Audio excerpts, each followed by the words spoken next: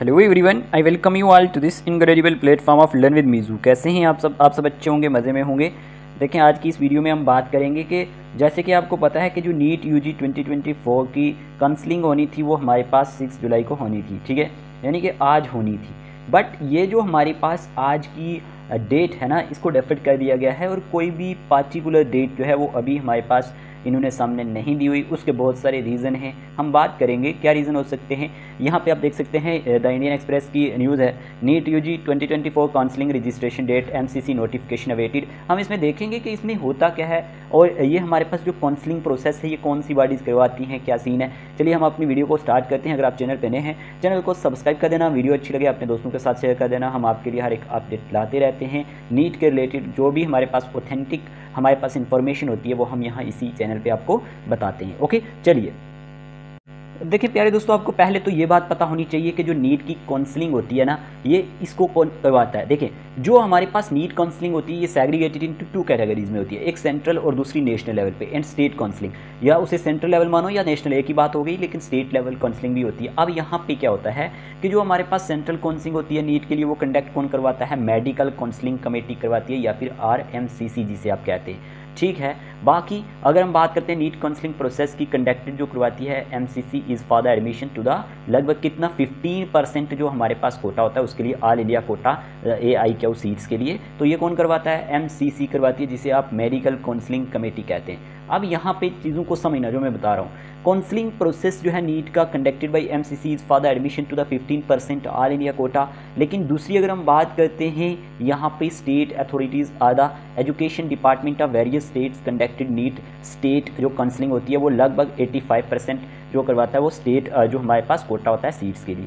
अब ये हमारे पास, आपको ये पता होना चाहिए, इसके लिए बहुत सारी आप वीडियोस देखते हैं, आप पैनिक हो जाते हैं, आपको इसमें कुछ भी नहीं करना होता, आपको सीधा इनकी साइट पे जाना होता है और वहाँ पे हर एक चीज़ आपको पता चल जाएगी, जो इनकी एमसीसी वाली साइट होगी ना, वहाँ पर जाना है। यहाँ पर अगर हम बात करते हैं, देखें, यहाँ पर कुछ इंपॉर्टेंट यहाँ पर हम बात कर लेते हैं।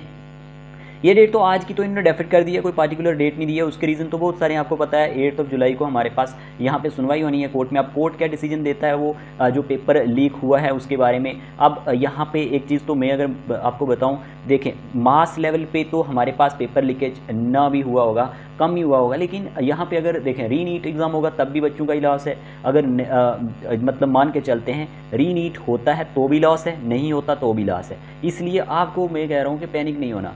मसला यह है कि जिनके अच्छे मार्क्स हैं उनकी सिलेक्शन तो डन होनी है। लेकिन एक बात है ना जो कल्प्रिट है उनको आ, मतलब सामने लाना भी एक ज़रूरी है वरना ऐसे हर साल ऐसे ही होगा तो फिर थोड़ी ना चलेगा। बाकी यह है कि वो कोर्ट क्या डिसीज़न देता है वो अलग बात है। बट आज की ये जो अपडेट है ना, इसके लिए आपको पता होना चाहिए कि ये डेट डेफिट कर दी गई है। और इसमें ये पता होना चाहिए कि जो ऑल इंडियन कोटा है आई के सीट काउंसलिंग के लिए for the national eligibility cum interest test under graduate अगर हम बात करते हैं ट्वेंटी के लिए, ये आपको, मैंने अभी बताया इस तरह से होना था, लेकिन यहाँ पर कुछ इंपॉर्टेंट चीज़ें समझने की हैं। और the counselling committee including the medical counselling committee MCC and the AYUSH जो हमारे पास एडमिशन सेंट्रल काउंसलिंग कमेटी होती है A A triple C I R to announce in update on the NEET U G counselling twenty date कहने का मतलब है ये कि अभी कोई एक और डेट देंगे, फिर उसमें आपको पता चलेगा। और अगर हम बात करते हैं NEET U G cut off की, जो हमारे पास इंडियन एक्सप्रेस की न्यूज़ बता रही है कि this year for the U R या E W S category candidate is seven twenty से मतलब जो हमारे पास वन सिक्सटी फोर के बीच में for the schedule caste schedule tribe and other backward classes candidates